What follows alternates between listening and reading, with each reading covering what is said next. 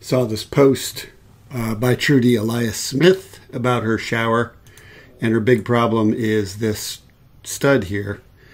And uh, I'm really not sure um, what version she's using, but I, I have X11 and I thought I'd do a quick video.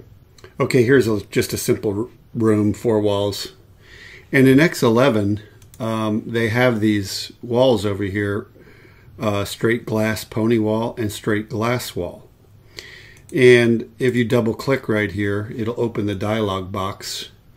And you can see that they're using interior 4 for the lower half and glass shower for the upper half.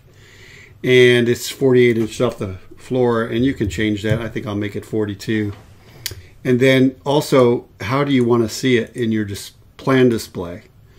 Um, you can show the lower wall, you can show the upper wall, lower wall outline, um, that's what I'm going to do. That's my usually my default. I'm going to click OK. And then if you click here and you draw, and then you draw again, and we take a view of that, um, it's hard to see in standard view, but there's your shower shower enclosure basically. And then over here in doors, they also have a shower door. And if you double click on that, it'll open the dialog and you can set things how you want them. I think I'm going to make this 96. And um, I think I'm going to say six inches off the floor. So we have a curb. Um, I, you may or may not want a curb, but let's just do it with a curb for now. And just stick the door in here somewhere. There we go.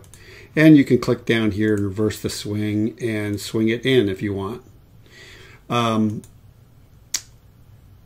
so we have our curb there, and of course that's not looking real good. So one thing you might want to do right here is make, I noticed in your picture you want this all glass. So if you go back over here to walls, you got a full glass wall right here. So I'm just going to click right here and drag through and then take my uh, shower door again. Where is that? Right here and uh, I'll, I'll just put it right here for now and make it a little wider. And let's just take a look at that see what we got. And maybe it's an X11 thing but um, as you can see here actually I'm, I'm going to take this off. And we'll just leave it like that. Then you can pull these walls down. You just click on the wall, click this tab right here, pull it down and just hit your tab key and hit, say, minus 12. Same over here. Tab key, minus 12. And if you want your door to finish right at the top of your wall, you might have to just kind of play with it a little like that. And there you have it. And you have no stud showing here. And so I don't know if they fixed it in X11, but this really isn't a problem. So um, if you have any questions, give me uh, post them and I'll do my best to answer them. But in uh, Chief X11, that's pretty. You can't see the glass. That's I got to change my material here. I'm going to give this a little. I'll just give it a dark green here.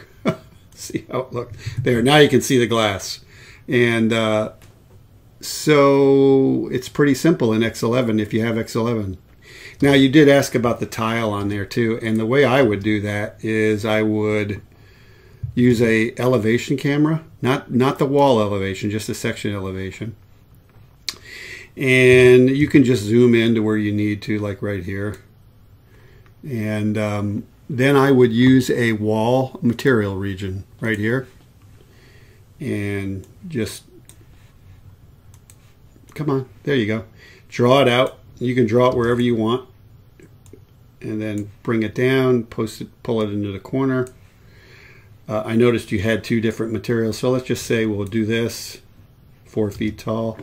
And then we'll put another region right here, same width or so. And pull that to there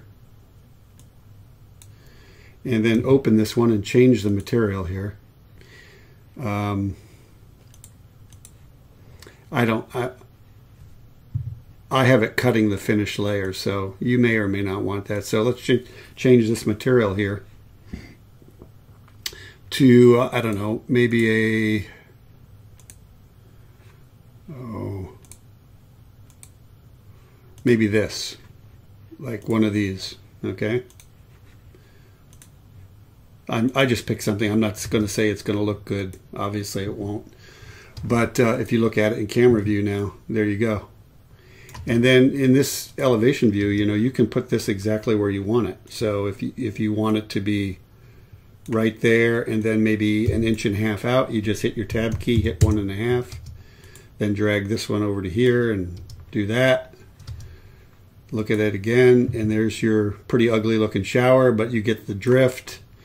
And then of course your shower room, you don't want any baseboard in there. So go to the moldings tab, unclick that and hit delete.